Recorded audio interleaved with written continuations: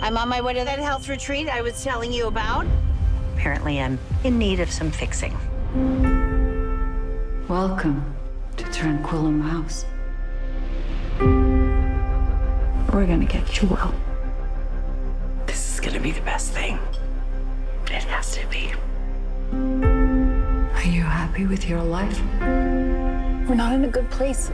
Either we try or we don't. It's very intimate here. And how many guests are there? Nine total. I'm not sure I'm really supposed to be here. Some doors are meant to stay closed. Have you met her? The woman that runs it? She mixes and matches her guests like a cocktail. Supposedly, she completely changes people. You came here to heal.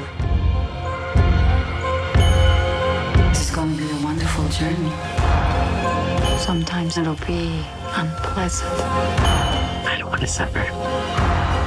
You're already suffering. I've been feeling unlike myself. There is nothing to fear.